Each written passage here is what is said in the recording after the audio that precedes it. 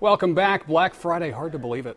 Just a week away, and shoppers are preparing for doorbuster deals. For the first time, Borsheim's is getting in on the action and holding a Black Friday sale. 7 Can Help consumer investigator Kristi Andersen is live with the reason behind the sale and the deals shoppers can expect to score. Kristi?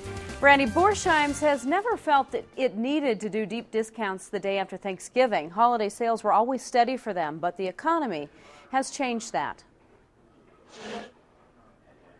Jewelry has forever been a go to gift for the holidays, but luxury retailers like Borsheim's have been hit hard in this economy, with consumers less than willing to drop large amounts of cash. It's been tremendously difficult being in retail for the past 12 months, and so customers have become conditioned to expect great deals, great bargains, and not to pay full retail. Because of that, Borsheim's will hold its first Black Friday sale the weekend after Thanksgiving, marking hundreds of items up to 75% off of retail. This freshwater cultured pearl necklace normally retails for $425 but it's a great deal at $200 during the Thanksgiving clearance sale. Adrian Fay, Borsheim's marketing director, showed us some of the deals customers can expect. A $4,000 Baume Mercier men's watch marked down to $995.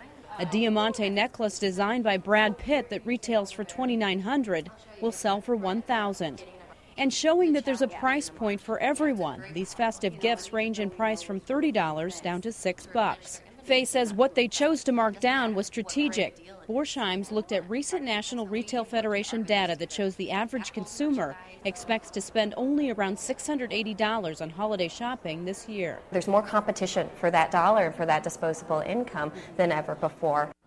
So Borsheim's is competing now with everybody they feel, mm. not just those luxury retailers, and their Black Friday sale starts at 10 a.m the day after Thanksgiving. And really, who needs an excuse to go to Borsheim? it's me. Right there. Me neither. Todd?